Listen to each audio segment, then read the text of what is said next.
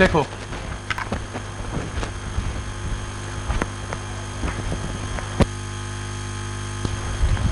देखो last time हमने centre of mass किया था और सेंटर ऑफ़ मास के कुछ एग्जांपल्स किए थे। सेंटर ऑफ़ मास के कुछ एग्जांपल्स में ये एग्जांपल हमने कर लिया था। नेक्स्ट ये भी हमने कर लिया था। हमने ये भी कर लिया था और शायद हमने यहाँ तक कर लिया था। ये किया था। मैंने कहा था कि एक शॉर्टकट याद रखना। कि अगर आपके पास एक पुली है और दो मासेज है।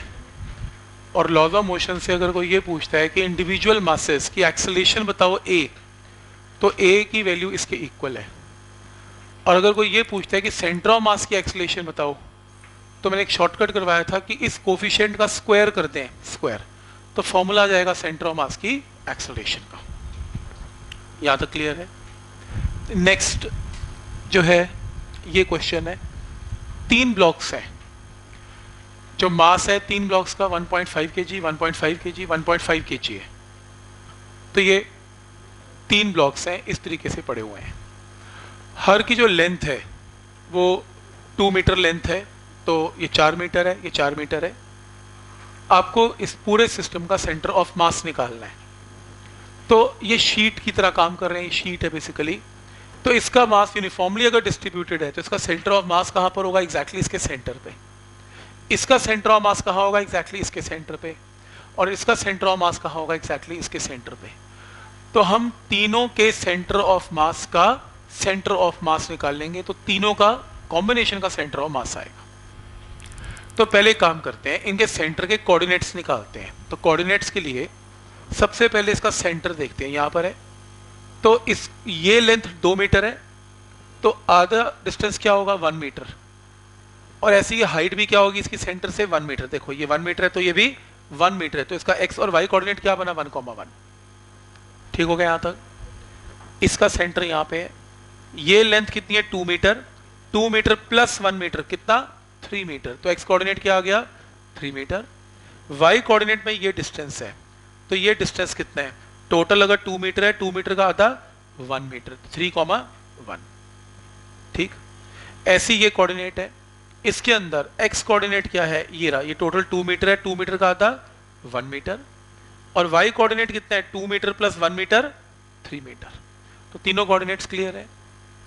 तो आपके पास तीन कोऑर्डिनेट्स आ गए। तो एक काम करते हैं इसमें m1, m2, m3, 1.5, 1.5, 1.5 के जी है। इसको मान लेते हैं x1, y1, इसको मान लेते हैं x2, y2, इसको मान लेते हैं x3, y3। तो एक्स कोऑर्डिनेट का फॉर्मूला लिखें। m1, m2, m3 पता है x1, x2, x3 पता है। पुट करके आंसर ऐसी वाई कोऑर्डिनेट का फॉर्मूला लिखें वाई एक्सिस का। वाई एक्सिस का सेंटर ऑफ़ मास का फॉर्मूला ये रहा।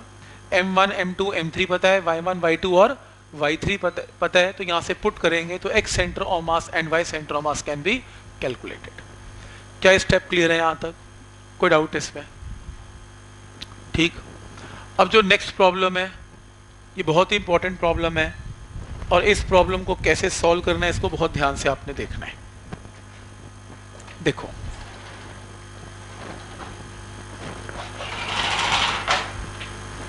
देखो नेक्स्ट प्रॉब्लम के अंदर सपोज़ आपके पास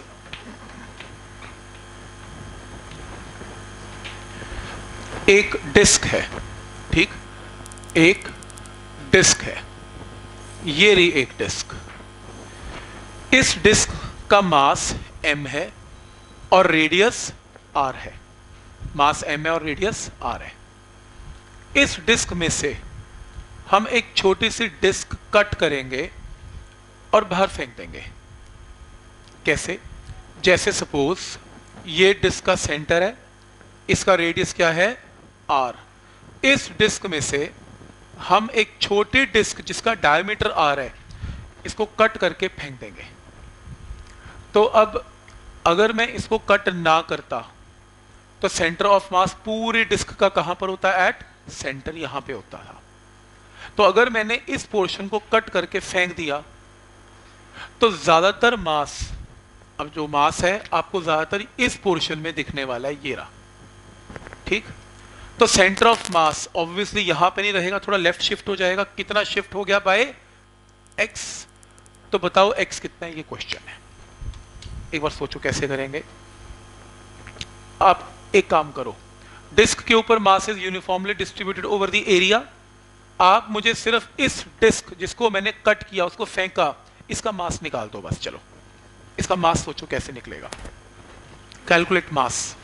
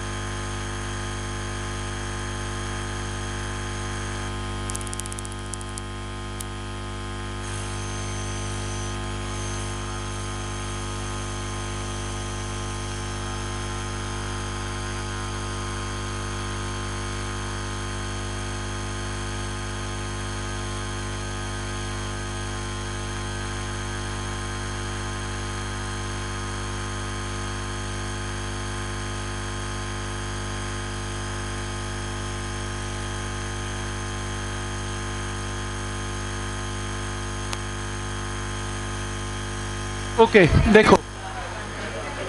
क्योंकि मास, देखो, सबसे पहली चीज़ देखने वाली ये होती है इसमें, मास डिस्ट्रीब्यूशन है कैसे?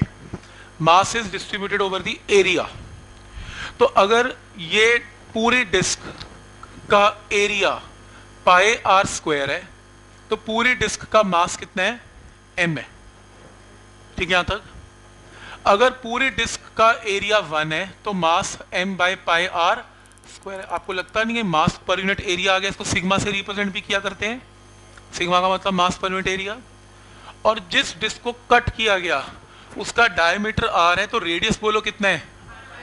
आर बाई टू है तो एरिया क्या हुआ? Pi into R by two का होल स्क्वायर तो मास कितना है? M divided by pi R square into pi into R by two का होल स्क्वायर तो M divided by pi R square into M sorry into pi into R square by four तो यहाँ से pi R square pi R square cancel कितना answer आ गया? M by four क्या step clear है? तो मास की वैल्यू कैसे निकलेगी? मास पर यूनिट एरिया से निकलेगी। ठीक यहाँ तक? ये स्टेप क्लियर है यहाँ तक? तो हमने मास निकाल लिया, और कैसे? एरिया वाइज क्योंकि एरिया के हिसाब से मास डिस्ट्रीब्यूटेड है। कोई डाउट इसमें? ठीक, यहाँ तक क्लियर है। अब मुझे ये आंसर दो। अगर सिर्फ़ ये डिस्क होती बस, और कुछ ये ना होता, बस ये डिस्क है, जिसका मास कितना है? एम बाई फोर वो मास कहाँ पर पड़ा होता? इसके एग्जैक्टली exactly सेंटर पे, बिल्कुल सही। अच्छा दूसरा आंसर दो। अगर ये डिस्क और ये डिस्क पूरी डिस्क होती तो टोटल मास कितना होता? एम और वो कहाँ पर पड़ा होता? एग्जैक्टली exactly इसके सेंटर पे। कितना?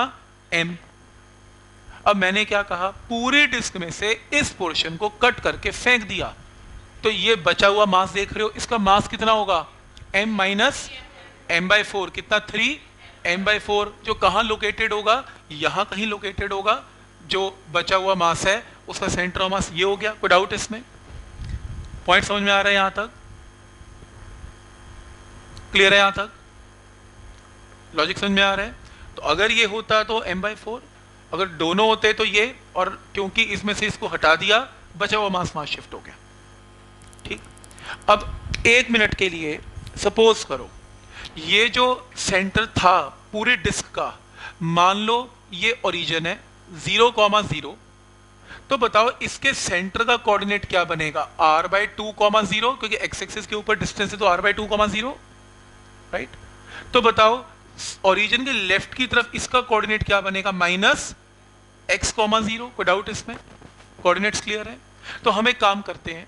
हम इसके अंदर, ये आपके सामने एक, ये जो लाइन है, ये लाइन को मैं ड्रॉ करता हूँ। ये रे सच दैट टोटल मास कितना है? एम और इसका कोऑर्डिनेट क्या है? ज़ीरो कॉमा ज़ीरो ये डिस्टेंस कितना है? आर बाई टू तो कोऑर्डिनेट क्या था? R by two comma zero और जहाँ पर मास कितना पड़ा हुआ है? एम बाय फोर इस पॉइंट के ऊपर मास कितना पड़ा हुआ है? थ्री एम बाय फोर और कोऑर्डिनेट क्या है? माइनस एक्स कॉमा ज़ीरो को डाउट इसमें? क्योंकि हमने शेप से क्या लेना देना? हम तो बेसिकली किस पे, किसको देख रहे हैं? हम तो पॉइंट्स को देख रहे हैं, क्योंकि सारा का सारा मास पॉइंट पे पड़ा हुआ है तो ये डायग्राम क्लियर है? ठीक, अब एक चीज़ और देखो कि अगर मैं इस डिस्क को वापस रख देता हूँ जिसको काट के रखा था हमने तो बची हुई डिस्क और कटी हुई डिस्क मिला के टोटल मास वापस यहीं पे ले आएँगी एम सारा का सारा मास फिर यहीं पे आ जाएगा। तो इसका मतलब क्या मैं ये बोल सकता हूँ कि जब मैं एम बाई फोर वाली डिस्क को प्लेस करता हूँ अपनी जगह पे थ्री एम बाई फोर के साथ तो टोटल मास यहीं पे आ जाता है। तो क्या मैं ये बोल सकता हूँ कि इन दोनों का सेंटर ऑफ़ मास ये बनेगा। ये जो पॉइंट है, इन दोनों का सेंटर ऑफ़ मास है। डाउट इसमें। तो इसका मतलब कि अगर मैं मान लेता हूँ कि ये एक सेंटर ऑफ़ मास है ये वाई सेंटर ऑफ़ मास है, ये मान लो एक्स वन है, ये मान लो वाई वन है, ये मान लो एक्स टू है, ये मान लो वाई टू है, ये मान लो एम टू है, ये सपोज़ एम वन है। तो मुझे साफ़ पता लग रहा है कि एक्स सेंटर ऑफ़ मास क्या है? M one X one plus M two X two divided by M one plus M two X centre of mass कितने हैं? ज़ीरो एम वन कितने हैं? Three M by four X one coordinate कितना है? Minus x M two कितना हैं? M by four X two कितने हैं? एक्स टू कितने हैं? R by two divided by M one plus M two ये स्टेप क्लियर है? पर ये टर्म लिखने का फ़ायदा नहीं, क्योंकि ज़ीरो से मल्टीप्लाई होके ज़ीरो हो जाएगी। तो zero is equal to minus three M X by four plus M R divided by eight M से एम कट गया। तो यहाँ से three X by four is equal to R by eight solve करके X check करना कितना आ रहा है? आर बाई सिक्स ये टू और ये थ्री हो गया. आर बाई सिक्स हाँ ठीक है. क्या ये पॉइंट समझ में आ रहा है यहाँ तक? यही आ रहा है answer R by six method समझ में आया कि ये एक्स कैसे निकलेगा? कोई डाउट इसमें? लिखना चाहते हो? तो लिख सकते हो, कोई दिक्कत नहीं है. फिर मैं आपको दो क्वेश्चन दूँगा आपको, इसी बेस पे करके देख, दिखाने हैं। ध्यान से देख लो इसमें कैसे करना है।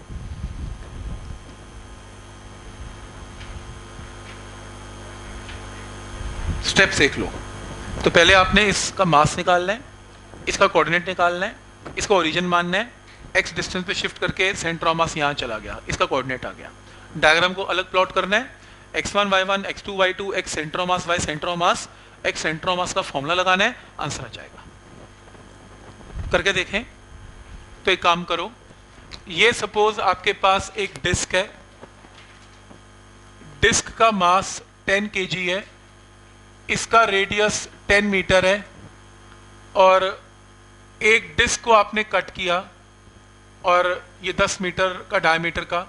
तो बताओ सेंटर ऑफ़ मास में एक्स की वैल्यू क्या होगी? ये क्वेश्चन है, और प्लीज़ शॉर्टकट मत बताना R by six ten by six answer है, मुझे मालूम है।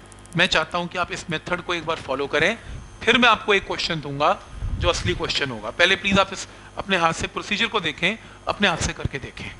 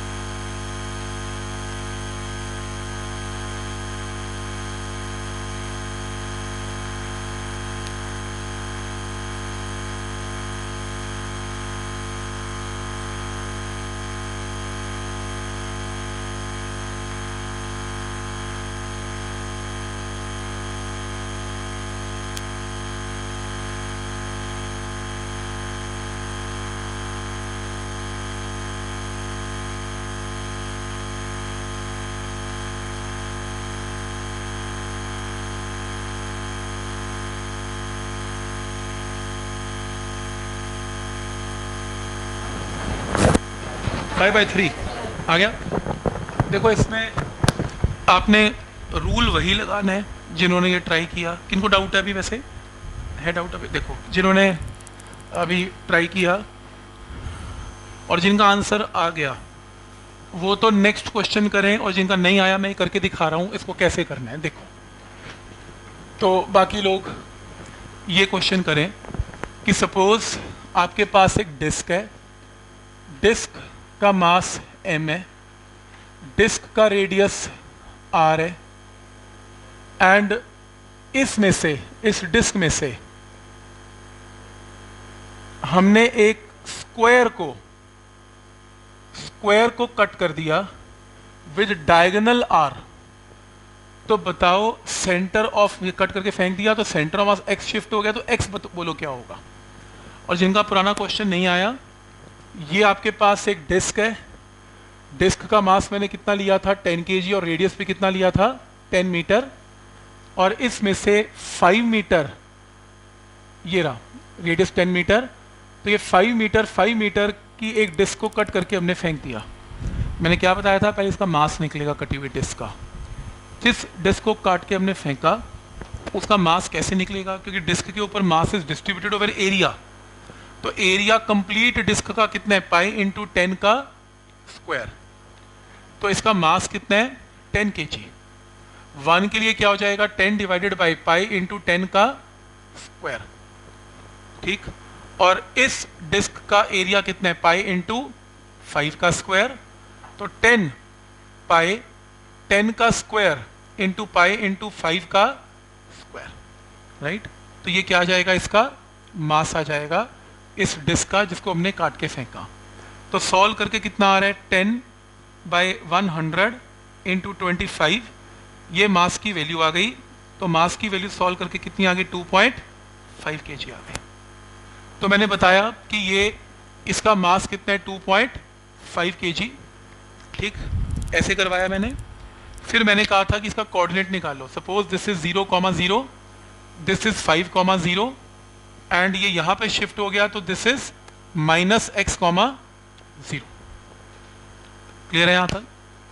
तो आपके पास ये स्ट्रेट लाइन है such that this is five comma zero this is minus X comma zero and this is zero comma zero तो फाइव कॉमा ज़ीरो का मतलब ये पॉइंट है, इस पे ये टोटल मास कितना एज्यूम करना है टू पॉइंट फाइव के जी तो यहाँ पर टू पॉइंट फाइव के जी पड़ा हुआ है।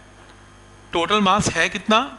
10 के जी टेन के जी में से 2.5 के जी को रिमूव करके फेंक दोगे तो बचा कितना? 7.5 के जी ठीक तो बचा हुआ मास 7.5 के जी ये बन गया M2 ये बन गया X2 ये हो गया Y2 ये हो गया X centre of mass Y centre of mass X1 Y1 and M1 तो आप यहाँ से X सेंटर ऑफ़ मास का फॉर्मूला लगाएँ।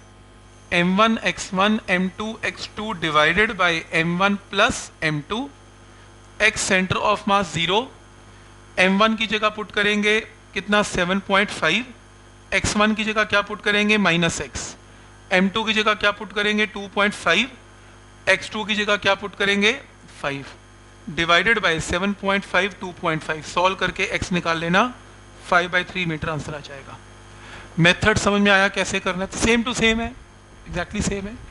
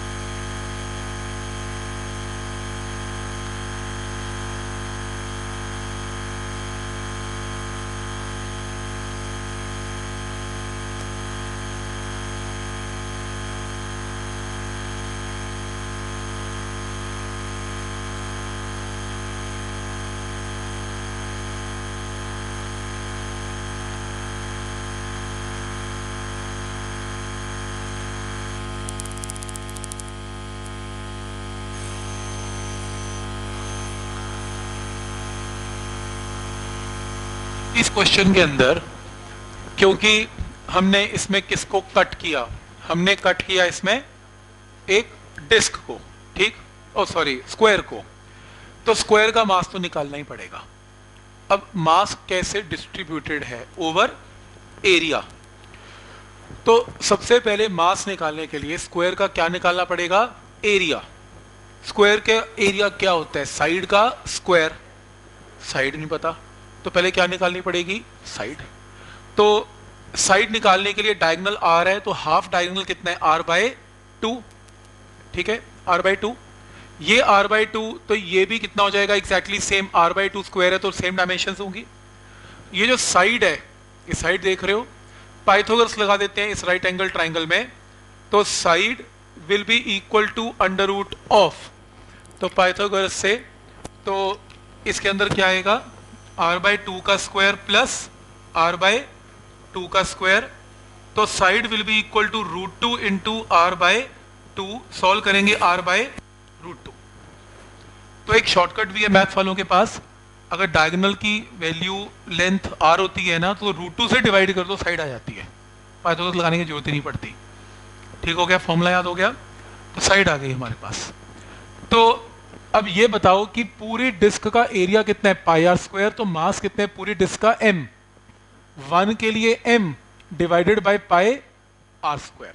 तो पाई आर स्क्वायर के लिए मास एम वन के लिए M by pi R square. और स्क्वायर का एरिया बोलो कितना है? साइड का स्क्वायर। साइड कितनी है? आर बाय रूट टू का होल स्क्वायर तो इतना अगर एरिया स्क्वायर का तो मास कितना आएगा? M divided by pi R square into R by root two का होल स्क्वायर तो m by pi R square into R square by two तो यहाँ से सॉल्व करके आपके पास आर स्क्वायर से आर स्क्वायर कैंसिल तो क्या आएगा? m divided by two pi तो ये किसका मास आ गया? मास ऑफ़ स्क्वायर क्या स्टेप क्लियर है?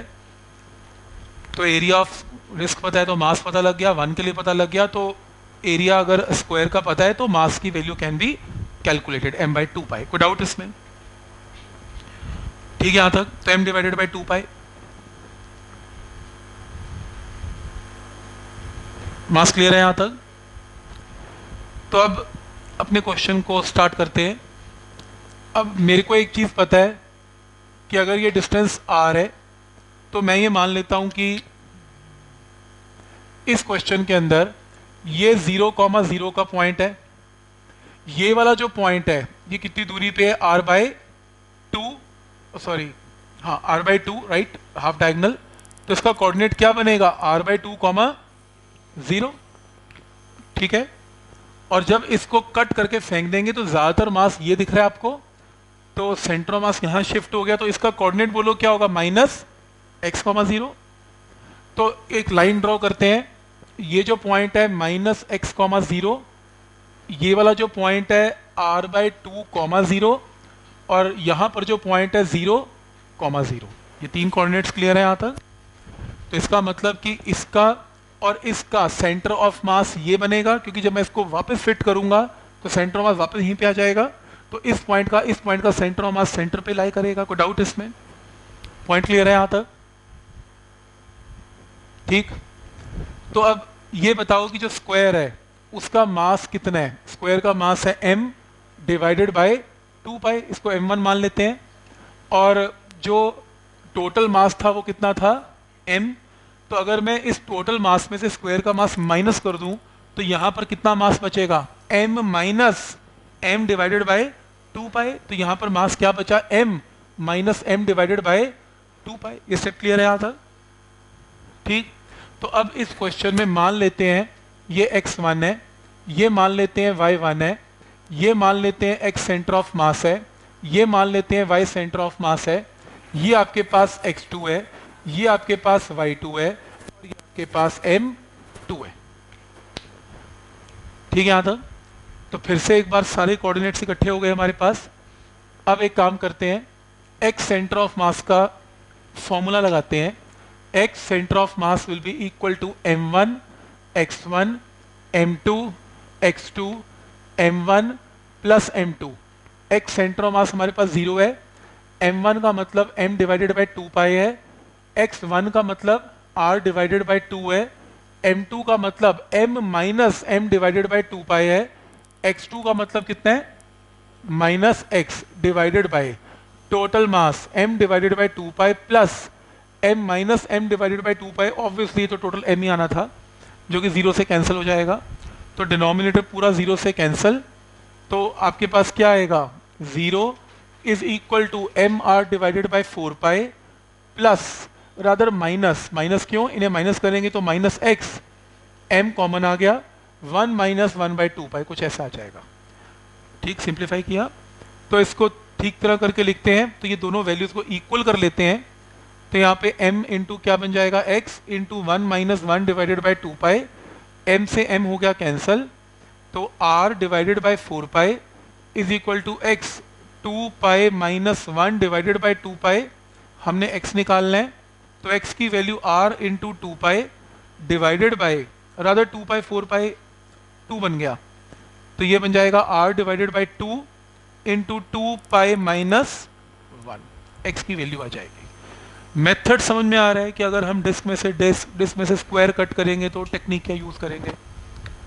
ठीक है, यहाँ तक। इंपॉर्टेंट क्वेश्चन है सेंटर ऑफ़ मास का।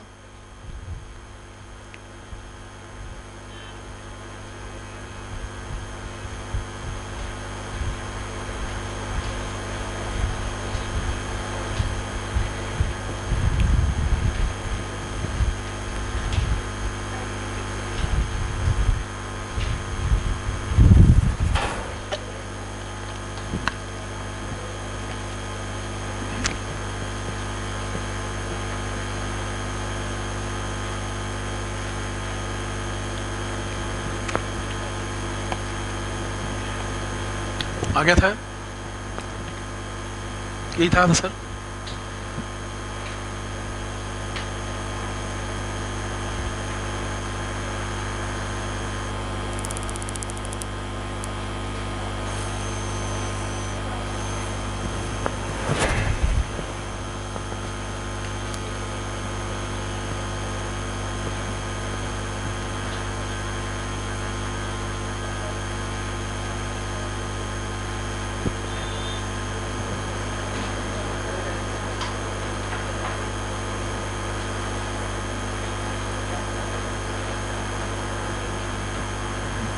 ठीक है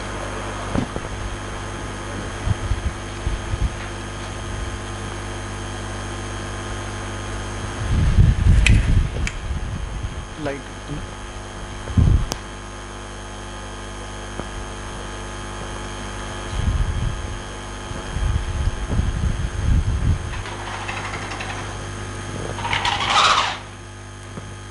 देखो तो फिर से एक बार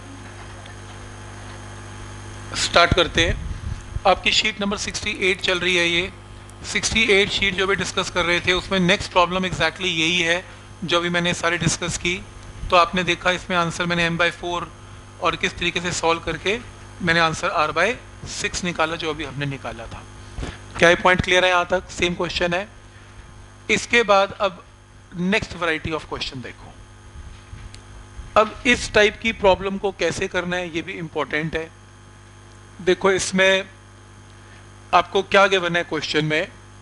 कि non uniform rod with value of lambda given देखो।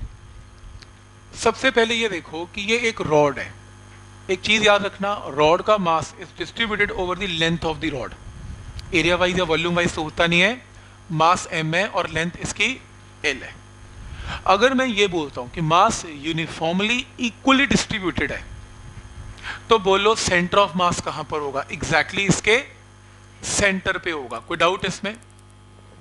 और अगर मास यूनिफॉर्मली डिस्ट्रीब्यूटेड है तो इसका मतलब अगर मैं इतनी पोर्शन ऑफ़ लेंथ लेता हूँ तो इसमें अगर मास एम डैश है तो एग्जैक्टली सेम लेंथ फिर से लेता हूँ तो मास फिर से एम डैश ही आएगा।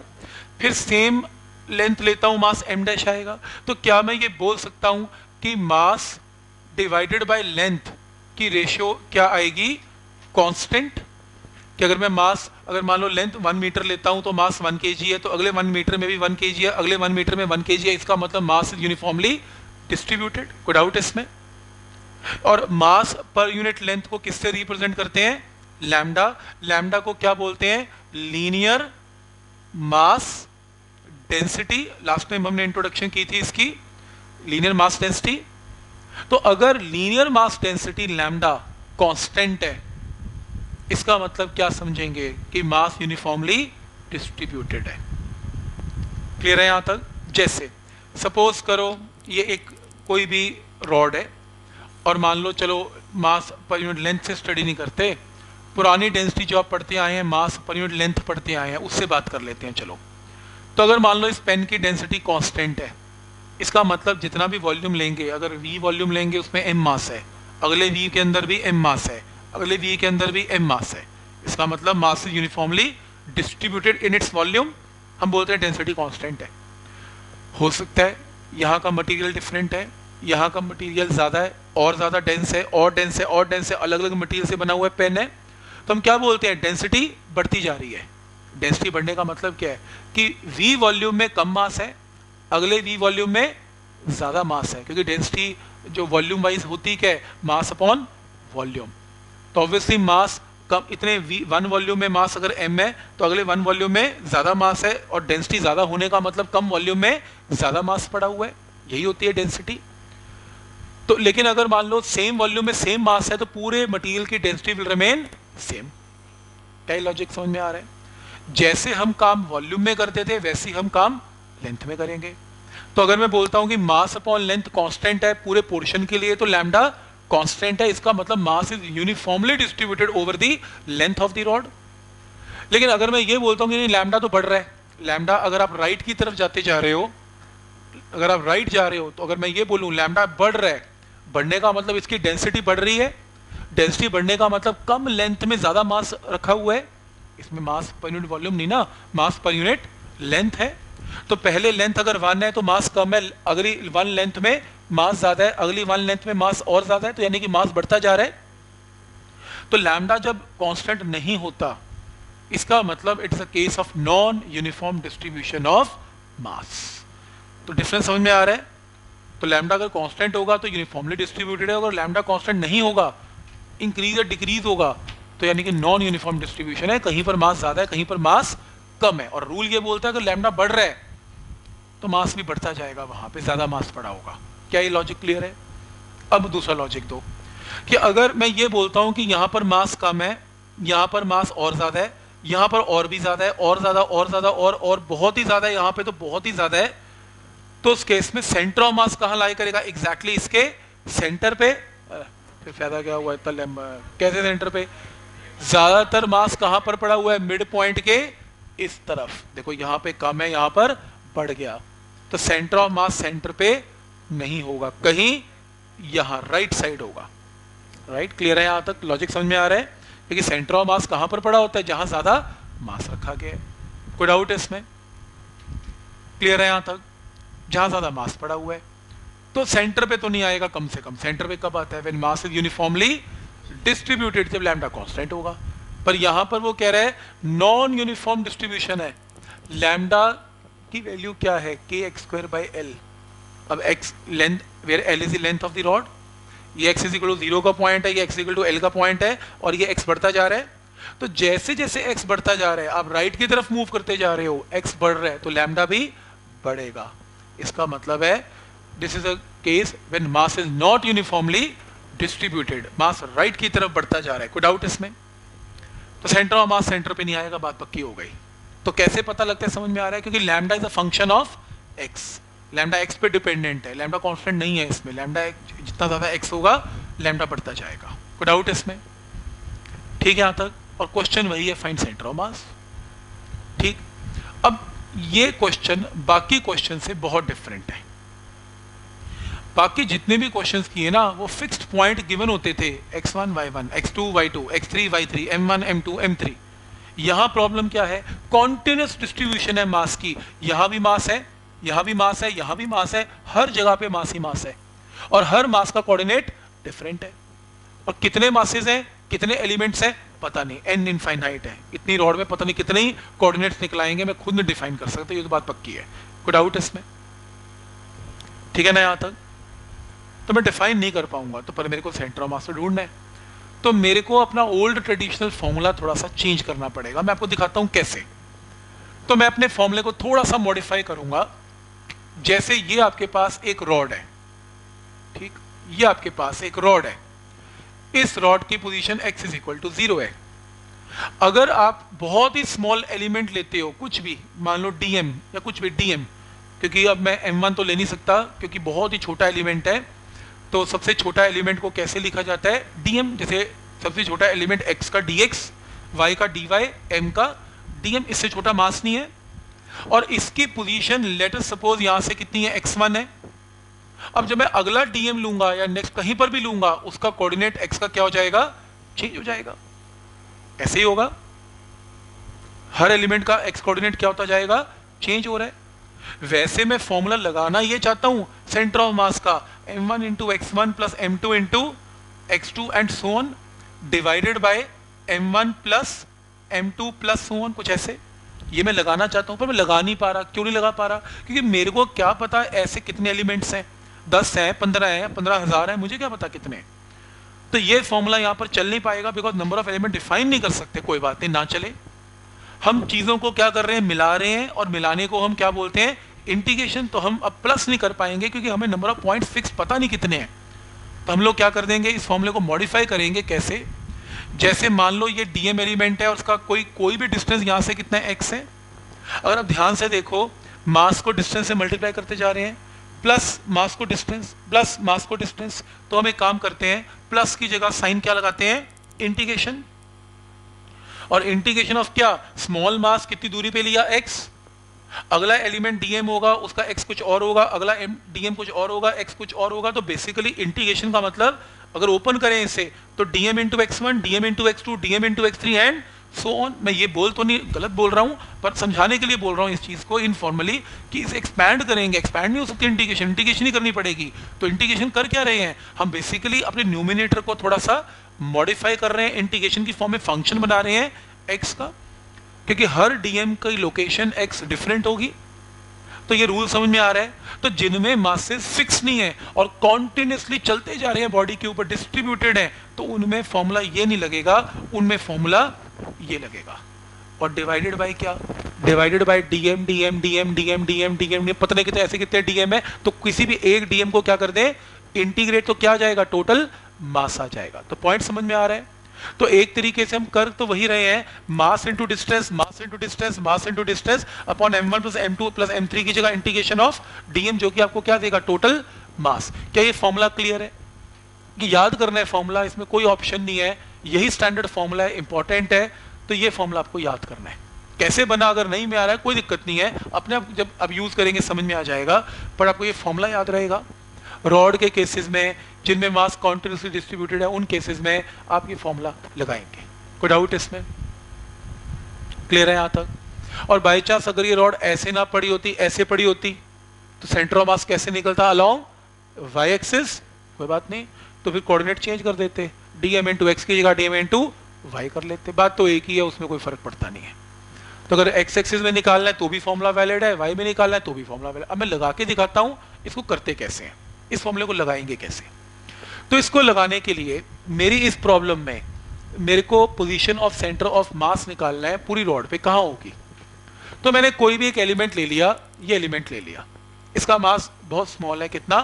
डीएम और क्योंकि mass is distributed over the length तो ये डीएम मास कितनी लेंथ का लिया मैंने? डीएक्स तो ये एलिमेंट की लेंथ ली मैंने, कितनी ली? डीएक्स तो इस डीएक्स लेंथ पर मास कितना डिस्ट्रीब्यूटेड है? डीएम और ये एलिमेंट कितनी दूरी पे लिया मैंने उस ओरिजिन से? एक्स ठीक? सेंटर ऑफ़ मास के लिए फॉर्मूला लगाया, ये रहा. सेंटर ऑफ़ मास के लिए फॉर्मूला लगा दिया, देखो ये रहा. करें वैल्यूज़ पुट अब इस वैल्यूज़ में देखो कैसे करना है.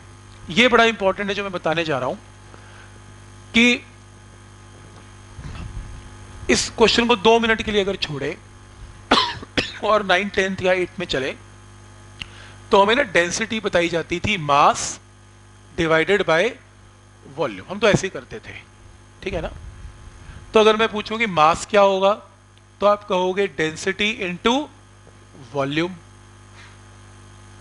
ये करेंगे ना? डाउट इसमें। ठीक? तो किसी ने पूछा, सर, किसका मास चाहिए? मैंने कहा, दस मीटर क्यूब वॉल्यूम का मास चाहिए। उसने कहा, ठीक है, आप दस फुट करो, मैं दस का मास निकाल दूँगा। मैंने कहा, नहीं, मेरे को तो बीस मीटर क्यूब का मास चाहिए। तो कहते, कोई बात नहीं बीस फुट करो, बीस का मास आ जाएगा, प्रॉब्लम क्या है? Formula will remain same. Right ऐसे करते आए हैं ना हम। पर इस केस में डेंसिटी पर यूनिट वॉल्यूम थोड़ी ना है। डेंसिटी पर यूनिट लेंथ है तो मास पर यूनिट लेंथ है। तो अगर आप मास निकालना चाहते हो तो आप क्या करोगे? लैमडा को किससे मल्टीप्लाई करोगे? इस बार लेंथ से। किसी ने कहा 10 मीटर की का मास निकालना है? कोई बात नहीं, आप 10 फुट कर दो, मास 10 मीटर का आ जाएगा। किसी ने कहा कि मान लो लेंथ 20 मीटर है, मास निकालो 20 फुट कर दो 20 का मास आ जाएगा। तो बिल्कुल सेम टू सेम फॉर्मूला नहीं बन गया। पर फ़र्क ये है, हमें ये देखने की आदत है। Mass is volume into density रट्टा पड़ा है, सोचते नहीं कि क्या है। ये नया लग रहा है कि डेंसिटी रो की जगह लैमडा और वॉल्यूम की जगह लेंथ बाकी तो सेम ही है। पॉइंट क्लियर है कि अगर आपको लैमडा गिवन हो और आपको मास निकालना हो तो आप सिंपली क्या करोगे? लैमडा को लेंथ से मल्टीप्लाई करके क्या जाएगा? मास आ जाएगा। मैं करके दिखाऊँ? जैसे, अगर मैंने मान लो मास निकालना है कितनी लेंथ का? dx का। dx का। तो लैम्डा को किससे मल्टीप्लाई करें? dx और dx लेंथ का मास मैंने क्या डिफाइन किया था? dm क्या ये पहला स्टेप समझ में आ गया? dm is equal to lambda into d क्यों लिखते हैं?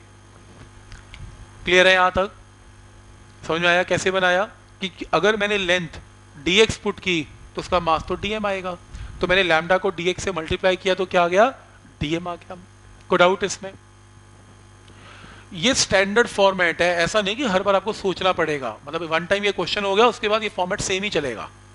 तो आज की बात जब ये टाइप का रॉड का क्वेश्चन आया ना तो रॉड के क्वेश्चन में सबसे पहले सेंटर मास निकालने के लिए सबसे पहले ये फॉर्मूला लिखा जाता है। बात ही खत्म है। मतलब रट जाता है लोगों को ये फॉर्मूला है। फिर डीएम निकाला जाता है। डीएम भी रटा होता है। लैमडा को डीएक्स से मल्टीप्लाई करो डीएम आ जाता है। अब क्वेश्चन पूछने वाला चेंज क्या करता है फिर? क्वेश्चन पूछने वाला ना लैमडा की वैल्यू चेंज करता है। मैंने जहाँ से क्वेश्चन लिया, उसने लैमडा हमें क्या दिया? के एक्स स्क्र बाई एल हो सकता है कोई और ऑथर लैमडा की वैल्यू सिर्फ़ एक्स बाई एल दे दे। हो सकता है लैमडा कोई टू दे दे कांस्टेंट दे दे चेंज ही ना करे। वो क्वेश्चन पूछने वाली की मर्ज़ी है। हमें इस क्वेश्चन में जो भी लैमडा का फॉर्मूला गिवन है, हमने उठा के पुट कर दिया। क्लियर है? तो हर क्वेश्चन चेंज कैसे मिलेगा आपको ऑब्जेक्टिव्स में? लैमडा का फॉर्मूला क्वेश्चन पूछने वाला अलग अलग देगा। तो आप यहाँ पुट कर लेंगे। ये क्या आ गया? डीएम इस पूरे डीएम को यहाँ पुट करें, यहाँ पुट करें। यहाँ पुट करेंगे तो डीएम इंटू एक्स यहाँ पुट करेंगे तो डीएम ठीक? तो अब इंटीग्रेट करते हैं। हमारी रॉड की लेंथ कितनी है? एल हम इंटीग्रेट करेंगे ज़ीरो से एल तक ज़ीरो से एल तक। नीचे भी और ऊपर भी। दो क्वेश्चन इंटीग्रेशन के चल रहे हैं।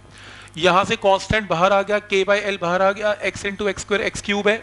यहाँ से के बाई एल बाहर आ गया एक्स स्क्वायर हो गया। ये कट गया। गलती से भी एक्स क्यूब एक्स स्क्र को नहीं काटना, वो अलग इंटीग्रेशन है या अलग इंटीग्रेशन है। कॉन्स्टेंट्स काट सकते हो।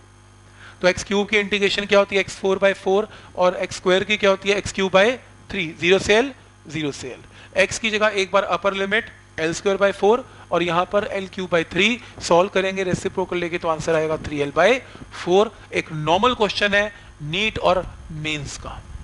एनसीआरटी में तो नहीं आता बट नॉर्मल नीट में बस फ़र्क थोड़ा सा ये डाल देते हैं। नीट वाले ये लैमडा आसान देते हैं, ताकि इंटीग्रेशन के स्टेप थोड़े कम हो।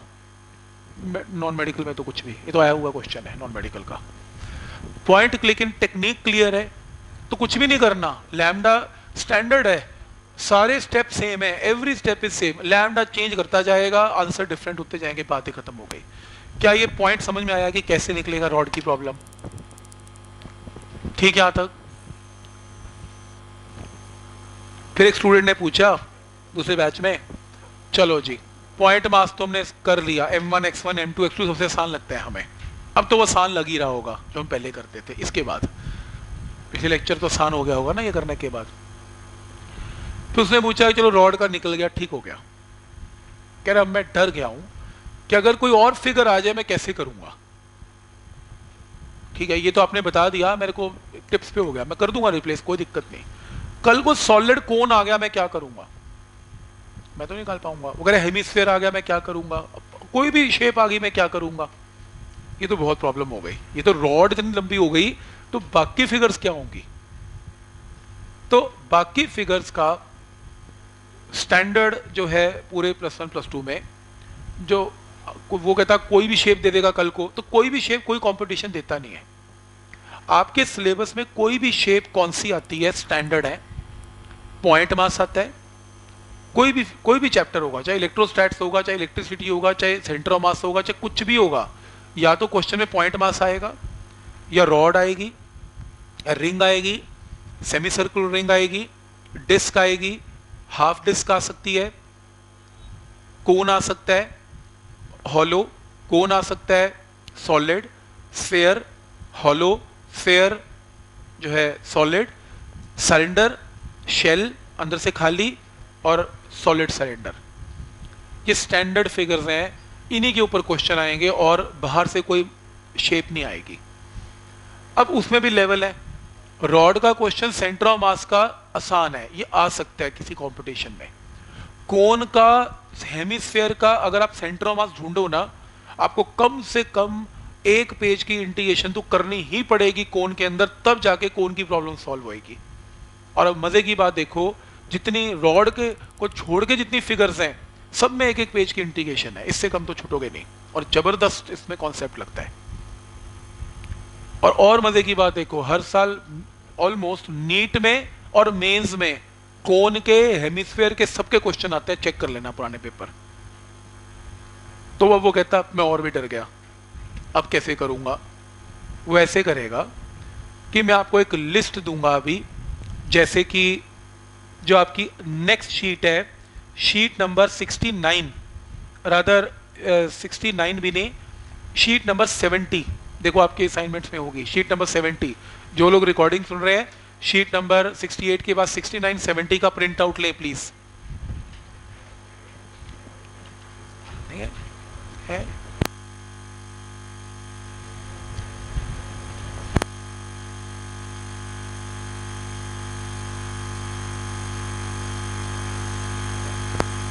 ये सेवेंटी नंबर शीट है। जाते ले लेना, कोई बात नहीं, अभी ज़रूरत नहीं है। एक ही पेज है, मैं करवा नहीं रहा हूँ, बता रहा हूँ सिर्फ़। तो हम लोग क्या करेंगे? रॉड को छोड़ के, ताकि हमें इंटीग्रेशन ना करनी पड़े, हम ये फॉर्मूलाज याद करेंगे। Centre of mass solid hemisphere का, अगर हेमिस्फेयर पड़ा हुआ है, उल्टा फ्लोर के ऊपर तो सेंटर ऑफ़ मास कहीं यहाँ पर होता है तो फ्लोर से ग्राउंड से इसकी हाइट जो होती है, वो कितनी लेनी होती है? Three r by eight standard formula है। अगर मान लो हाफ़ रिंग है, आधी रिंग है, ऐसे पड़ी हुई है रिंग है देखो ऐसे। तो सेंटर ऑफ़ मास कितनी हाइट पर होगा? Centre of mass two r by pi height पे होगा। क्लियर यहाँ तक? ठीक। अगर मान लो सॉलिड कोन है, उल्टा पड़ा है, इसकी तो बहुत बड़ी इंटीग्रेशन है। तो ग्राउंड से कितनी हाइट पर होगा? एच बाई फोर मेन्स वालों ने क्वेश्चन पूछा लास्ट से लास्ट ईयर कोन का सेंटर ऑफ़ मास कहाँ लाई करता है? लोगों ने बिना देखे एच बाई फोर एंड में लिखवा था फ्रॉम वर्टेक्स कहाँ पे लाई करता है? ग्राउंड से याद करके गए h by four option h by four था, उन्होंने ऊपर से पूछ लिया तो h minus h by four three h by four था। गलत कराए। नहीं पढ़ा उन्होंने तो गलत कराए, जिन्हें पढ़ लिया, ठीक कर दिया। ध्यान से, ये सब फ्लोर से लिखी है मैंने हाइट्स उसी तरीके से जो हॉलो कोन है ग्राउंड से h by three half disc है आदि डिस्क है, डिस्क पे मास एरिया वाइज डिस्ट्रीब्यूटेड है, four r by three pi और हॉलो हेमिस्फेयर पे आर बाई टू। इन सब के प्रूफ हैं, ऑप्शनल है आप लोगों के लिए, कोई करना चाहे तो मैं ज़रूर करवा दूँगा और मेरे पास वीडियो भी है एक एक प्रूफ का मैं आपको सेंड भी कर दूँगा और आपको असाइनमेंट भी दे दूँगा कि लिखने की भी ज़रूरत नहीं है, वो कैसे हुआ। लेकिन वही करे जो एडवांस की तरफ़ जाना चाहता है, उसको तो फ़ायदा होगा। मेंस नीट तक एनसीईआरटी तक कोई फ़ायदा नहीं होगा। मेंस नीट तक सीधा क्वेश्चन आएगा, सीधा टिक मार्क होगा और आए हुए क्वेश्चंस हैं, वो पूछते हैं इस शीट में से, सीधा फॉर्मूला हाइट बताओ। इंपॉर्टेंट है, याद करने हैं। क्या पॉइंट क्लियर है? आसान हो गया काम ना? रॉड का आ गया तो सॉल्व कर लेंगे, बाकी आएगा ही नहीं, बात ही खत्म हो गई क्लोज हो गई। आसान हो गया, और क्या चाहिए आपको? एडवांस में नहीं एडवांस में तो कुछ भी आता है। पॉइंट समझ में आया यहाँ तक? ठीक। तो वापस अपने पुरानी शीट पे ही चलते हैं। शीट नंबर 68 ये तो ख़त्म होगी मेरे को लगता है। ठीक है 68 68 के बाद शीट नंबर 69 तो जो लोग रिकॉर्डिंग सुन रहे हैं शीट नंबर 69 का प्रिंट आउट लेके ओपन करें। पहला क्वेश्चन नॉट फॉर मेडिकल लिख लें नॉट फॉर मेडिकल मेडिकल वाले लोग सिर्फ़ ये वाला पार्ट देखेंगे, बस ये वाला पार्ट जो मैं अब देने जा रहा हूँ। नॉन मेडिकल वालों को दो मिनट देता हूँ सोचने के लिए। एक रॉड है, फिर से रॉड है। रॉड का लैमडा चेंज हो रहा है।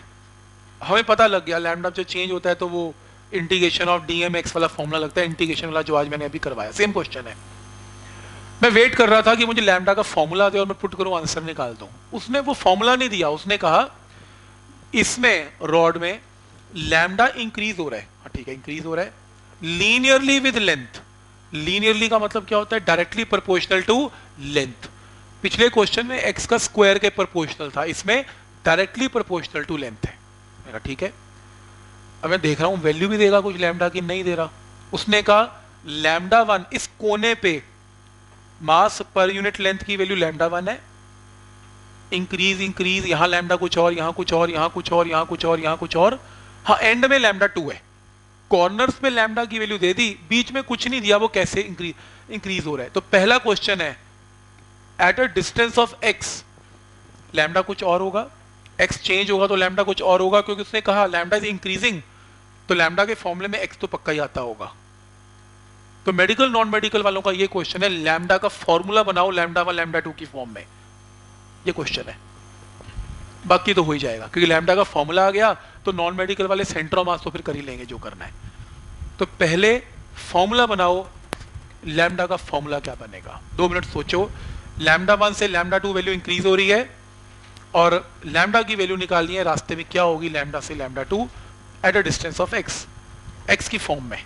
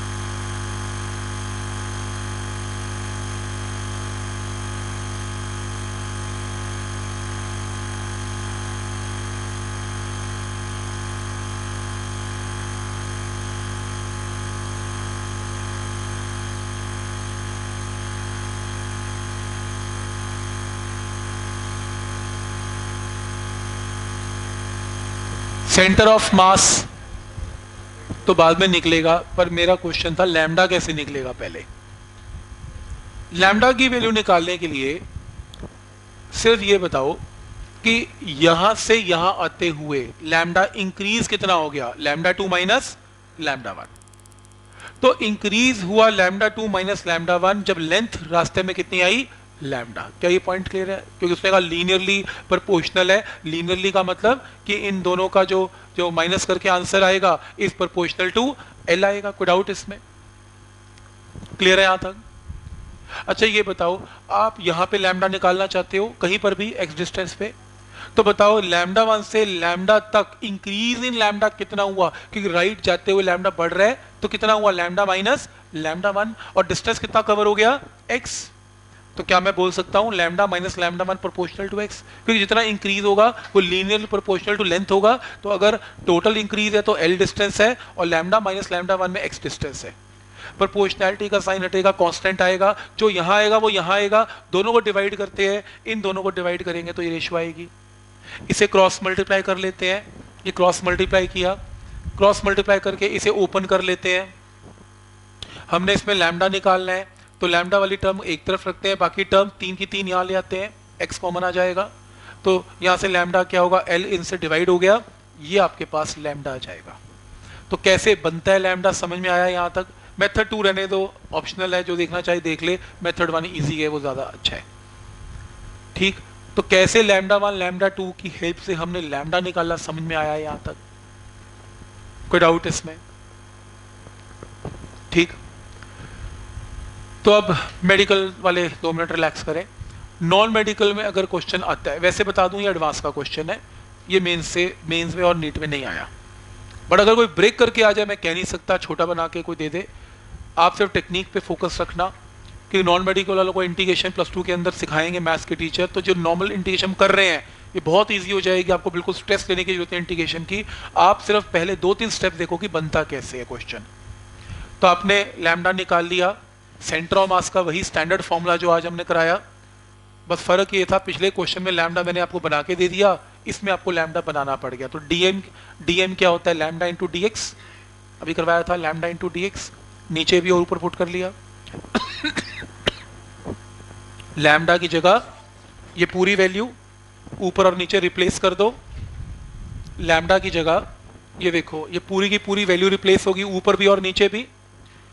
अब इसे इंटीग्रेट करते रहो बैठ के। वैसे तो प्लस टू के अंदर बहुत आसान हो जाएगा। प्लस वन में भी कोई प्रॉब्लम नहीं है। इसे ओपन कर दो। अब ये दो क्वेश्चन इंटीग्रेशन के बन गए हैं। तो ये रहा। देखो, कैसे करेंगे? नॉन मेडिकल स्टूडेंट देख लें। ये प्लस साइन आ रहा है। तो integration of first term lambda one into x d x lambda one into x d x plus integration of second term this into this into this second term ये रही। तो x into x x square हो जाएगा। ऐसे नीचे भी integration of first term lambda one into d x second term में इसको इससे मल्टीप्लाई करेंगे तो ये टर्म आ जाएगी। ज़ीरो से ज़ीरो से। तो चार क्वेश्चन इंटीग्रेशन के तैयार हो गए और इसके अंदर लैमडा वन कांस्टेंट बाहर आ गया। इसमें ये और ये कांस्टेंट बाहर आ गए। ये देखो, ये बाहर आ गए। इसके अंदर से लैमडा वन बाहर आ गया। इसमें से लैमडा टू लैमडा वन और एल बाहर आ गया। तो ये टर्म बच गई। इसकी integration x square by two x cube by three x और x square by two limit put कर लेना आंसर आएगा। फ़िलहाल ये करना नहीं है। इंडिकेशन जब आएगी तब की तब है। मेन से ऊपर है। बट आपको आइडिया समझ में आ गया। इंडिकेशन के स्टेप ज़्यादा है। आपको नहीं करना। मैं फिर कह रहा हूँ, ये क्वेश्चन छोड़ सकते हो। पर आपको टेक्निक समझ में आनी चाहिए कि टेक्निक है क्या बस। इतनी बड़ी इंडिकेशन नहीं आती। ऑब्वियसली नीट में तो आप इसको बंद ही कर दो। नीट वाले तो कहीं या तो ये करवा लो या पूरा पेपर करवा लो। एक ही चीज़ होगी इसमें तो ऑब्वियसली नीट वाले कैसे करेंगे? पैंतालीस क्वेश्चन नहीं होगी राइट नीट वालों को तो वो आता है। तीन स्वेयर पड़े हुए हैं। M one x one m two x two m three वो बहुत जो पिछली क्लास में किए सिंपल बस वो। X one y one x two y two x three y three तो m one x one m two x two m three x three by m one plus m two m three simple point मतलब integration पे कम आते हैं आप लोगों को। हो सकता है रॉड पे आ जाए। पर वैसे पॉइंट्स के ऊपर आते हैं। इंटीग्रेशन बेस्ड मेडिकल में आते नहीं है। तो ये अच्छी बात है ठीक है। बच, बचा क्या? और भी है इसमें कुछ कुछ और टेक्निक आ जाएगी, अभी पढ़े कुछ टाइप पेंडिंग है हमारे पास, उसमें से आएगी। बट ये पॉइंट क्लियर है। कॉन्सेप्ट समझ में आया नॉन मेडिकल वालों को?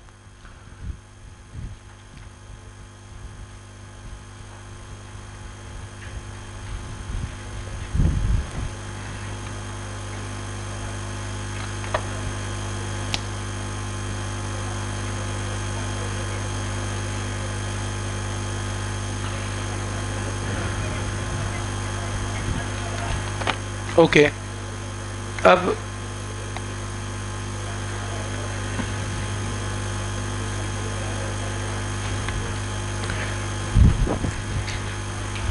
आज हमारा प्रिंटर ख़राब रहा तो मैं ये शीट नहीं दे पाया। अभी अब देख लो शीट की नंबरिंग भी डिफाइन नहीं की वैसे मैंने। वैसे अगर होगी तो शीट नंबर 72 होगी, जो लोग रिकॉर्डिंग सुन रहे हैं। बाकियों को तो प्रिंट आउट नेक्स्ट टाइम दे दूँगा इस पेज का। जो ये पेज है तो वैसे 72 नंबर की शीट है, जो लोग रिकॉर्डिंग सुन लेंगे, उसका प्रिंट आउट ले सकते हैं। देखो, पहली बात तो ये शीट यहाँ पर क्यों है, मैं बता देता हूँ कि ये जो एक बुकलेट है, आप देखते होंगे प्लस टू के अंदर भी ना येलो कलर की बुकलेट लोग पढ़ रहे होते हैं। बुक किताब में से पढ़ रहे होते हैं ज़्यादातर वो। शीट्स के अलावा, आप ध्यान से नोट करना, कभी संडे को टेस्ट होगा ना तो हाथ में वो बुक बहुत होती हैं येलो और यहाँ बहुत बड़ी भी होती हैं। तो बेसिकली वो क्या है कि वो एन e की बुकलेट है। बोर्ड के एग्ज़ाम की किताब है वो। बोर्ड का पेपर उसमें से आता है। साइड डेरिवेशन इकट्ठी की हुई है उसमें। मतलब स्टूडेंट को शीट से देखनी पड़ती। वो फटाफट उसी में से फटाफट बोर्ड के पेपर की तैयारी वहीं से हो जाती है। तो ऐसी एक बुकलेट मैं प्लस वन में दूँगा। अभी नहीं, अभी थोड़ी तैयार है वैसे। हर साल देते हैं। लेकिन अभी क्या है, उसमें थोड़ी सी और मॉडिफिकेशन कर दें। क्योंकि लास्ट ईयर जो जो फीडबैक थी हमारे पास कि स्टूडेंट को देखने में कभी शीट देखनी पड़ती हैं, कभी वो। तो उसके अंदर जैसे लिस्ट ऑफ़ इंपॉर्टेंट क्वेश्चंस करवाए थे ना तो लिस्ट ऑफ़ इंपॉर्टेंट क्वेश्चंस अलग हैं शीट्स में से ढूँढने पड़ते हैं। तो बुकलेट अब ऐसी तैयार कर रहा हूँ कि वो ढूँढने नहीं पड़ेंगे, वो साथ ही साथ लिखे होंगे। मतलब काइनेमेटिक्स में ये क्वेश्चन हैं लॉज ऑफ़ मोशन में ये है वर्क पार में यही एन e करके जाना है तो सिर्फ़ एक्सक्लूसिव फॉर एन बनेगी वो। तैयार हो रही है, अभी बन रही है तो पाँच दस परसेंट मॉडिफिकेशन है, वो करके आपको प्रिंट आउट दूँगा। मतलब दिसंबर से पहले मिल जाएगी जब आपका नेक्स्ट पेपर होगा, इस बार तो नहीं मिल पाएगी, क्योंकि कोई चीज़ रहना चाहे इसलिए रोके रखी हुई है, थोड़ा ध्यान से काम करना पड़ता है। ठीक? तो अदरवाइज़ वो तैयार होके मिल जाएगी तो उसी में से ये शीट है तो उसके अंदर ये मिलेगा सारा कुछ आपको वैसे। तो सबसे पहले example of centre of mass है। देखो सेंटर ऑफ़ मास के एग्ज़ाम्पल से भी पहले ये टॉपिक आपको ऐसे मैं शीट बना के दूँगा नेक्स्ट टाइम जो 72 नंबर शीट में बोलूँगा अभी। नेक्स्ट टाइम तो उस उसमें ये लिखा होगा topic law of conservation of linear momentum in terms of centre of mass मतलब law of conservation of linear momentum लगा के दिखाओ, लेकिन सेंटर ऑफ़ मास की टर्म्स में। अब ये इससे मतलब क्या हुआ इसको समझते हैं। मैंने एक स्टूडेंट को प्रॉब्लम दी कि एक सिस्टम में बहुत सारे पार्टिकल्स हैं। M1, M2, M3, M4 जैसे हम लोग हैं and everybody is moving with the velocity of V1, V2, V3 and V4 चलता जा रहे तो मैंने स्टूडेंट को कहा कि ये बता कि नेट फोर्स कितनी है सिस्टम के ऊपर। उसने कहा ये लो net force will be equal to d by d t of m one v one vector फिर बोलता है d by d t of m two into v two vector ऐसे ऐड करता ही गया, करता ही गया, करता ही गया, जितने पार्टिकल थे ऐड ही करता गया वेक्टर सम ठीक है, बिल्कुल सही कर रहा है। तो बहुत लंबा तरीका है। अगर बहुत सारे पार्टिकल्स हैं तो लास्ट टाइम डिस्कशन की थी तो बहुत लंबा तरीका है इसको टोटल फोर्स कैलकुलेट करने का। फिर एक स्टूडेंट और आया, वो कहता है, जी, मैं ऐसे नहीं करूँगा। मैं कैसे करूँगा? Total force is equal to d by d t of total mass total mass कितना है? एम और total velocity velocity of centre of mass वो कहता मैं ऐसे करूँगा। और हमने ये लास्ट टाइम डिस्कस किया था कि इससे कर लो या इससे कर लो, बात एक ही है। तो ऊपर वाले से क्यों करेंगे? नीचे वाले से करेंगे ना तो एक ही बात है। तो कोई डाउट इसमें? ठीक? अब क्योंकि मैं बात कर रहा हूँ law of conservation of linear momentum की तो law of conservation of linear momentum में हम हमेशा क्या लेते हैं? आइसोलेटेड सिस्टम तो किसी भी आइसोलेटेड सिस्टम में एक्सटर्नल फोर्स को क्या लेते हैं?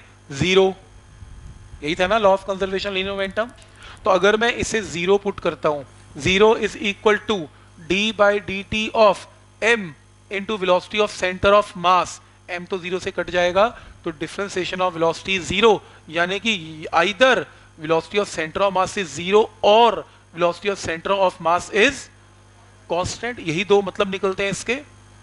क्लियर है यहाँ तक? कोई डाउट इसमें। ठीक? लेकिन ये रूल लगेगा कब? फॉर एन आइसोलेटेड ये कंडीशन है। अगर ये कंडीशन ट्रू है तो ये कंडीशन भी ट्रू है। ये होगा या ये होगा? क्या ये मैथमेटिकली क्लियर है? ठीक। अब मैं कुछ एग्ज़ाम्पल से समझाता हूँ, ये हुआ क्या एक्चुअल में। ठीक। तो मैंने आपको क्या समझाया? मैंने अभी तक आपको सिर्फ़ एक ही चीज़ समझाई कि अगर आपके पास एक आइसोलेटेड सिस्टम है तो आइसोलेटेड सिस्टम का मतलब net force is external is zero तो इसका मतलब velocity of centre of mass या तो ज़ीरो होगी या फिर कांस्टेंट होगी राइट इससे मतलब क्या है? ध्यान से देखना। हम कोई एग्जांपल लेते हैं आइसोलेटेड सिस्टम का, और बेस्ट एग्जांपल क्या है? एक न्यूक्लियस का दो हिस्सों में टूटना या बॉम्ब का दो हिस्सों में टूटना। याद आइसोलेटेड सिस्टम था, और हम इसके ऊपर लगाते थे M one V one is M two V two हमने लगाया था, हमने एक लेक्चर भी किया था law of conservation of linear momentum पे, कोई डाउट इसमें? क्या स्टेप क्लियर है? अब ये बताओ, इस, इससे मतलब क्या है, इसको ध्यान से समझना। मेरे पास एक बॉम्ब है, ये लो जी, मैंने रख दिया टेबल के ऊपर। रेस्ट पे पड़ा है। इसका सेंटर ऑफ़ मास कहाँ पर है बॉम्ब का? बॉम्ब के अंदर। किस पे पड़ा हुआ है? At rest V centre of mass क्या है? ज़ीरो ज़ीरो बॉम्ब फट गया। दो हिस्से हो गए। एक वहाँ जा रहा है तो दूसरा वहाँ जाएगा। बोलो, सेंटर ऑफ़ मास कहाँ जाएगा? यही रहेगा। आपको कैसे टेबल पे कुछ पड़ा तो है नहीं। सेंटर ऑफ़ मास यही पड़ा रहेगा। ये है रिज़ल्ट। अब ये सुनने में बड़ा अजीब लग रहा है यार। एक टुकड़ा पता नहीं कहाँ गिरा पड़ा है, एक कहाँ गिरा पड़ा है। आप अभी इसी पॉइंट को देखे जा रहे हो। वो इसलिए देख रहे हैं क्योंकि और क्योंकि V centre of mass V one vector plus M two V two vector divided by M one plus M two यही रूल है। अच्छा एक चीज़ बताओ, मैंने क्या बोला अभी? सेंटर ऑफ़ मास किस पे रहेगा? एट रेस्ट रेस्ट पे रहा? मेरे कहे पे मान लो, चलो रेस्ट पे पड़ा हुआ है। नहीं नहीं अच्छा लग रहा, कोई बात नहीं। फिर भी मान लो कि मैंने बोला तो पड़ा ही होगा रेस्ट पे, और वो पड़ा होगा क्यों? क्योंकि मैं आइसोलेटेड सिस्टम की बात कर रहा हूँ। और ये लिखा हुआ है आइसोलेटेड सिस्टम में अगर एक्सप्लोजन से पहले सेंटर ऑफ़ मास रेस्ट पे था तो एक्सप्लोजन के बाद भी वो रेस्ट पे रहेगा। अभी मैं इस पॉइंट का एग्जांपल ले रहा हूँ, इसका बाद में लूँगा। तो मेरे कहे पे आपने इसको ज़ीरो पुट कर दिया, ये टर्म तो ज़ीरो से कैंसिल ही हो जाएगी तो मेरे पास क्या आएगा? M one V one vector plus M two V two इस टर्म को इधर लेके जाओ तो M one V one vector is equal to minus M two हाँ ये सुना लगता है। ये सुना हुआ है, जब बॉम्ब के दो टुकड़े होते हैं M one V one M two V two जो है मैग्नीट्यूड में होता है वेक्टर फॉर्म में माइनस भी लगता है, क्योंकि एक की डायरेक्शन अगर राइट है तो दूसरे की लेफ़्ट है। बिल्कुल सही है, कोई डाउट इसमें? हमने किया हुआ है ये, इसका मतलब ये वही रिज़ल्ट आ गया जो हमें पता है ट्रू है। इसका मतलब ये कॉन्सेप्ट एकदम सही है। ठीक है, यहाँ तक? तो इट मीन्स कि अगर ये ट्रू है अगर प्रूव करना है मैथमेटिकली तो ये भी ट्रू है। ये ट्रू है, इसको डिवाइड कर दो m1 वन प्लस एम से तो ये भी ट्रू है। लेकिन इसको क्या बोलते हैं? सेंटर ऑफ़ मास की वेलोसिटी जो कि क्या आएगी? ज़ीरो उल्टा भी कर सकते हैं।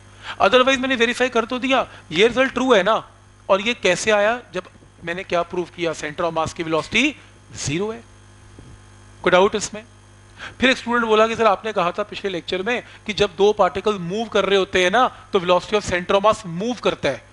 आप तो कह रहे हो उस टाइम रेस्ट पे है। जबकि जब बम फटा तो एक टुकड़ा वहाँ उड़ता जा रहा है यहाँ उड़ता जा रहा है। फिर सेंटर ऑफ़ रेस्ट पे कैसे हो सकता है? उसको भी तो मूव करना ही चाहिए था। तो फिर मैंने एग्ज़ाम्पल दिया। मान लो एक मिनट के लिए ये एक एक एक सीसो है। ये देखो, दो बच्चे बैठे हैं, एक का मास एम है, एक का मास एम है। तो बोलो इसको कहाँ से बैलेंस करूँ? सेंटर से। बैलेंस हो गया एकदम। वो एक स्टूडेंट यहाँ से उठ के एक मीटर पास आ गया। और दूसरा भी एक मीटर पास आ गया तो अब भी बैलेंसिंग पॉइंट कहाँ रहेगा? एग्जैक्टली exactly यहीं पे। क्या फ़र्क पड़ता है? तो जैसे अगर ये और मैं सेम मास के, हमारा सेंटर ऑफ़ मास ये रहा मिड पॉइंट पे, अगर ये दो मीटर उधर जाता है, इस पॉइंट से मैं भी दो मीटर इधर आता हूँ तो भी सेंटर ऑफ़ मास वहीं का, वहीं रहेगा। पॉइंट समझ में आ रहा है? तो ऐसा पॉसिबल है कि अगर दो पार्टिकल ऑपोजिट मूव करते हैं, और मास भी बराबर है सेंटर ऑफ़ मास बिल्कुल चेंज नहीं होगा। क्या पॉइंट क्लियर है यहाँ तक? कि मतलब ये ना सोचे कि हमेशा सेंटर ऑफ़ मास मूव ही करता रहेगा, क्योंकि दो पार्टिकल मूव कर रहे हैं। मैंने मैथमेटिकली प्रूव कर दिया, ऐसा ज़रूरी नहीं है। अगर ये कंडीशन ट्रू है M one V one M two V two opposite है तो फिर सेंटर ऑफ़ मास रेस्ट पे रहेगा ही रहेगा। तो इमेजिन कर लिया आपने। तो आज की बात अगर अब दिवाली भी आ रही है बॉम्ब फोड़ा तो दिवाली में बोल भी सकते हो, जो लोग खड़े हो गए, देखो कि ये देख कितने टुकड़े हो गए, और देख सेंटर ऑफ़ मास यहाँ पड़ा हुआ अभी भी। चाहे लोग आपको जिनको फिजिक्स नहीं आती, वो आपको पागल कह सकते हैं कि ये क्या है, कैसी बातें करी जा रहा है। भाई, कुछ नहीं पड़ा यहाँ पे। पर फिर भी आपने बोलना है कि सेंटर ऑफ़ मास यहीं पड़ा हुआ है, क्योंकि एक्सप्लोजन से पहले वो यहीं पड़ा था। ठीक पॉइंट समझ में आया? फिर एक और दिवाली का एग्ज़ाम्पल ले लेते हैं। अगर ऐसी बात है तो पटाखे फूट रहे हैं तो एक और फोड़ो। ये देखो, एक रॉकेट है। एक रॉकेट प्रोजेक्टाइल से की तरह उड़ा और यहाँ गिर गया। फटा ही नहीं। ऐसे गिर गया जैसे था। कोई बात नहीं पैराबोलिक पाथ है। पैराबोलिक पाथ है। तो किसी ने कहा कि सेंटर ऑफ़ मास कहाँ पर है? आपने कहा सेंटर ऑफ़ मास तो रॉकेट के अंदर है। रॉकेट नहीं फटा तो सेंटर ऑफ़ मास क्या पाथ फॉलो कर गया? पैराबोला डन हो गया? ठीक है पैराबोलिक पाथ हो गया। अब दूसरी बार रॉकेट चलाया किसी ने रॉकेट फट गया। रास्ते में टुकड़े टुकड़े हो गए, बहुत टुकड़े हो गए। अब उसने कहा, बोलो सेंटर ऑफ़ मास कहाँ पर है? तो आपने याद किया लेक्चर रॉकेट का फटना एक्सप्लोजन होना follows law of conservation of linear momentum उसका आइसोलेटेड सिस्टम है। आइसोलेटेड सिस्टम में एफ़ ज़ीरो है। तो अगर रॉकेट की वेलोसिटी पहले कांस्टेंट थी या centre of mass parabolic path follow कर रहा था विद सम वेलोसिटी जब वो नहीं एक्सप्लोड हुआ था एक्सप्लोड होने के बाद भी वो वही पाथ फॉलो करेगा पैराबोला चाहे वहाँ पर आपको कुछ ना दिखे। तो जब रॉकेट फटेगा, ऐसे टुकड़े निकलेंगे, ऐसे टुकड़े निकलेंगे, कुछ टुकड़े उधर गिरेंगे, कुछ उधर गिरेंगे, या आसपास गिरेंगे। वो इस तरीके से गिरेंगे कि जब आप फॉर्मूला लगाओगे ना उसका M1 V1 M2 V2 M3 V3 सभी टुकड़ों के ऊपर तो सेंटर ऑफ़ मास की वेलोसिटी हमेशा पैराबोला ही कवर करती हुई नज़र आएगी आपको। आप कर नहीं सकते, लेकिन आपको मेरी बात माननी पड़ेगी, ऐसा होता है। तो आज की बात अगर रॉकेट ऐसे फट जाए तो फिर बोल देना, लोग खड़े होंगे, देख, वो सेंटर ऑफ़ मास वो गिर गया। चाहे आपको वहाँ कुछ नहीं दिखेगा, पर बोलना आपने यही है कि सेंटर ऑफ़ मास वही रास्ता फॉलो करेगा जो वो बिना फटे उसने कवर करना था। पॉइंट समझ में आया यहाँ तक? तो पहला एग्जांपल समझ में आया, दूसरा एग्जांपल समझ में आया, फिर तीसरा सुन लो। सपोज़ करो, अब आप एक शॉट लेके आए हो ज़बरदस्त कि वो सीधा 90 डिग्री पे ऊपर जाता है, मुड़ना नहीं है 90 डिग्री पे ऊपर गया और वो फट गया। अब देखो ध्यान से ज़बरदस्त शॉट है, जब वो 90 डिग्री पे ऊपर जा रहा है इमेजिन करो वो नहीं फटता, ऐसी ऐसे गिर गया नीचे बिना फटे। तो मान लो एक बॉटल में से तो हम फिजिक्स पढ़ रहे हैं आइडल कंडीशन पे तो एक बॉटल या जो भी ट्रे में से गया ट्रे में वापस ही आएगा। वो ठीक है, वो हवा चलती है तो गिर जाता है, पर फिजिक्स कहती है, अगर 90 डिग्री पे गया है, और कोई भी फोर्स नहीं है, इधर उधर रेजिस्टेंस की तो वापस ही आएगा। तो सेंटर ऑफ़ मास पाथ बोलो क्या फॉलो करेगा? स्ट्रेट ऊपर जाके नीचे डन क्लोज अब इमेजिन करो, वही शॉट ऊपर गया टॉप मोस्ट पॉइंट पे फट गया। जब वो फटता है ना, अब डिज़ाइन देखते हो, पूरा अम्ब्रेला की तरह छतरी बन जाती है डिज़ाइन देखो। सारे पार्टिकल इस तरीके से गिरते हैं, हर तरफ़। वो क्यों गिरते हैं? इसलिए सिमेट्री में गिरते हैं, ताकि जब वो नीचे आ रहे हैं तो इमेजिन करो, एक imaginary point centre of mass उसका बिल्कुल स्ट्रेट नीचे तो ट्रे के अंदर ही वापस आ जाएगा। अब बोल सकते हो, देखो फट गया, वो देख सेंटर ऑफ़ मास वापस आ गया ट्रे में। चाहे वहाँ को कुछ नहीं दिखेगा। आपने लेकिन बोलना यही है कि टुकड़े इस तरीके से गए कि सेंटर ऑफ़ मास जैसे गया था, जिस वेलोसिटी से गया था, ना फटता और फट गया। कोई फ़र्क नहीं सेंटर ऑफ़ मास में कोई फ़र्क पड़ेगा ही नहीं। पॉइंट समझ में आया यहाँ तक? कोई डाउट इसमें? ठीक। जब गोली चलती है तो बुलेट चलती है तो गन पीछे आती है। पहले सेंटर ऑफ़ मास बुलेट और गन का बीच में था उन्हीं के। गोली आगे चली गन पीछे आ गई।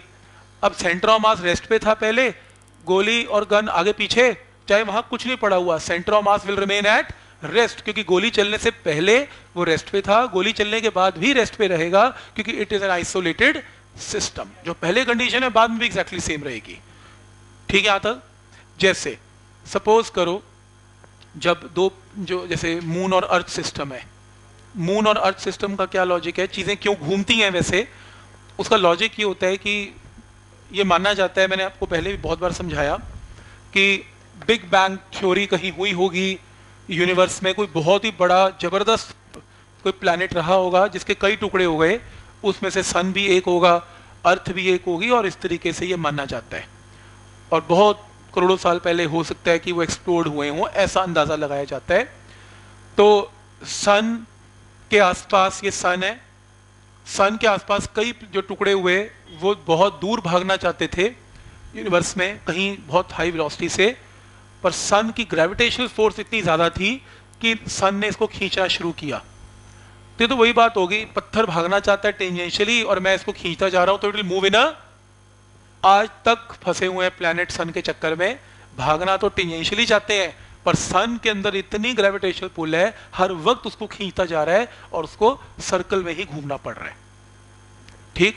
तो वो मिशन मंगल और ये सैटेलाइट्स का भी यही प्रिंसिपल होता है कि अर्थ की सरफेस अर्थ के बाहर नहीं, आप ग्रेविटेशनल पुल को, वो दिखा, दिखाते नहीं मूवी में भी ग्रेविटेशनल पुल को क्रॉस करना बहुत मुश्किल है। बहुत फ्यूल चाहिए ग्रेविटेशनल पुल को क्रॉस करने के लिए, इतने किलोमीटर तक रॉकेट बनाना पड़ता है। सैटेलाइट को चलाने के लिए रॉक कोई फ्यूल होना चाहिए। सैटेलाइट जाओ, अर्थ की कई हाइट पर रॉकेट जाएगी, सैटेलाइट को एक पत्थर की तरह फेंक देगी ऐसे, हॉरिजॉन्टल। तो गया पत्थर पत्थर जाना चाहता है सीधा, लेकिन अर्थ खींचेगी उसे तो वो बेचारा फिर वही सर्कल में घूमना स्टार्ट कर देगा। तो कुछ नहीं चाहिए, वो ग्राउंड क्योंकि गोल है, अर्थ गोल है तो वो हमेशा उसके आसपास सर्कल के चक्कर में पड़ा रहेगा। तो सैटेलाइट अर्थ को हमेशा अर्थ खींच ही रही है, पर क्या प्रिंसिपल बनाया, किसी फ्यूल के बिना सर्कल में घूमती जाएगी। ठीक? तो बेसिक ये ग्रेविटेशन में पढ़ेंगे बेसिक चीज़ मुझे ये बतानी है कि प्लैनेट्स या सैटेलाइट्स क्यों घूमती हैं एक दूसरे के आसपास? क्योंकि ग्रेविटेशनल पुल होता है। तो लॉजिक ये होता है कि अगर कोई मास एम है और अगर कोई मास एम है, इनका सेंटर ऑफ़ मास सेंटर पे है।